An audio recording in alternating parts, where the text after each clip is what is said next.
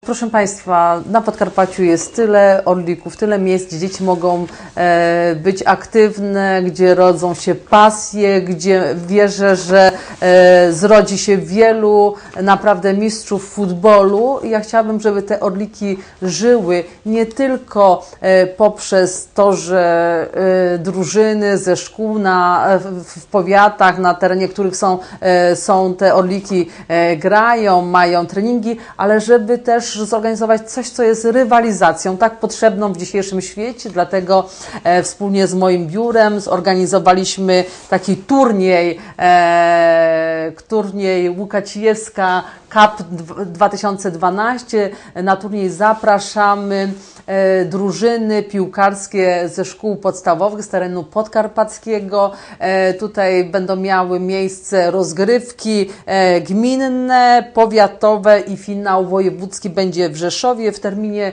między 1 a 6 czerwca, czyli jeszcze przed, chcemy zdążyć przed euro, ponieważ zainteresowane jest bardzo duże, ale namawiam, bo warto, bo nagrody są naprawdę, myślę, że bardzo fajne. Zmieniliśmy regulamin, dlatego że zgłosiło się też bardzo dużo drużyn dziewczęcych, czego nie przewidywaliśmy, więc cieszę się bardzo, że ta aktywność dziewczyn na, na polu piłki nożnej jest bardzo duża.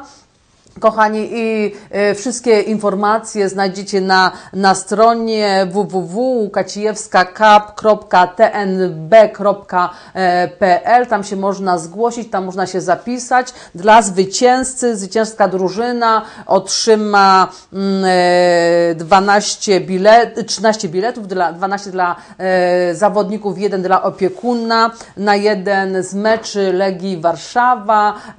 Pokryjemy wyżywienie, pokryjemy przejazd, więc myślę, że, że warto, a najlepszy opiekun e, oczywiście będzie mógł być u mnie w Brukseli. Niestety Bruksela jest miejscem dla, dla dzieciaków trochę, trochę starszych, ale myślę, że, że zwycięska drużyna i wizyta na stadionie Legii Warszawa też będzie niesamowitą nagrodą. O, oczywiście oprócz tego różne nagrody rzeczowe, więc zapraszam, bo nie ma nic lepszego jak taka właśnie zdrowa, fajna ry rywalizacja, a też te, te, te e, orliki właśnie temu mają służyć. Raz aktywności, ale drugiej, z drugiej strony dobrej rywalizacji, bo jeżeli gramy o jakiś puchar, o jakąś nagrodę, e, rywalizujemy z innymi, to te drużyny, tak e, ludzie się bardziej poznają, młodzi ludzie e, przeżywają to, e, wspierają się i też o to chodzi, bo dzięki temu rodzą się dobrzy, fajni liderzy, a wierzę również, że i liderzy absolutnie mistrzowie